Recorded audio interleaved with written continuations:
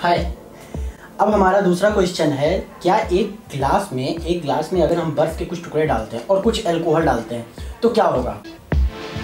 इसको चलिए हम प्रैक्टिकल करके देखते हैं, तुरंत। ये है बर्फ़ का टुकड़ा, कुछ हमने जमाया हुआ है, इसमें हमने थोड़ा सा पानी डाल करके इसको हम तोड़ रहे हैं। और इसको उसके बाद हम डालेंगे ग्लास में। ग्लास में देखने के बाद पता चलेगा कि दिखाते इसको पानी को ग्लास में डालते हैं। बर्फ़ वाले पानी में अगर हम इसको डालते हैं एक ढक्कन ऊपर से तो वो कहाँ रहेगा? नीचे रहेगा या ऊपर रहेगा? प्रैक्टिकल कर लेते हैं, चलिए स्टार्ट करते हैं।